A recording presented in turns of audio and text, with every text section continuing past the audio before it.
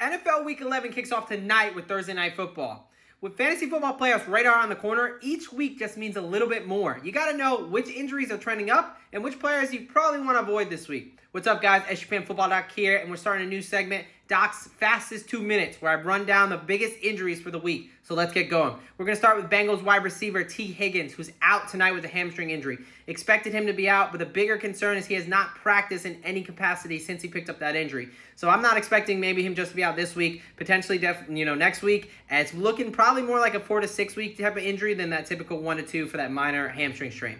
All right, another hamstring strain. Minnesota Vikings wide receiver Justin Jefferson. He's someone who's had six weeks to return at this point. On Sunday, it'll be six weeks since he got injured. Two limited practice this week. I would say he's truly questionable. Would love for him to have a full practice tomorrow to gain some confidence. So right now, JJ's status is a little bit up in the air. All right. But quarterback Deshaun Watson for the Cleveland Browns, he's going to be out for the season with a shoulder injury. So we knew that he hurt his ankle last week against the, the Ravens, but he actually wound up having a fracture in his shoulder. Felt a little discomfort, got an MRI on the shoulder as well just to check it out. Turns out he has a displaced fracture in his glenoid. Your glenoid is just kind of the rim, that bone that is the rim of that ball and socket joint that is your shoulder. Uh, displaced essentially means that it was kind of out of alignment. So with that, it's not something that's really going to heal on its own. You really want to have surgery to repair that. So he went ahead and season-ending surgery. So Deshaun Watson done for the year, unfortunately.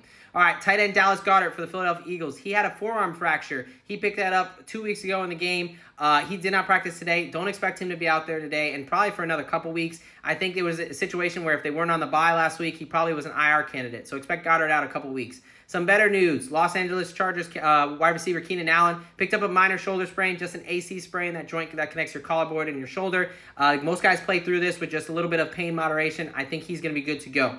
All right, Justin Fields is two full practices. They're expecting him to start. He should be good to go. Now, he's got a tough matchup against the Lions, but, you know, that thumb may be hurting him a little bit, but his legs won't. So look for him to be running often and early on Sunday. All right, guys, that's fastest two minutes there. For more in-depth analysis and uh, many more injuries, find my uh, injury article on sportsgamblingpodcast.com. Let's tack some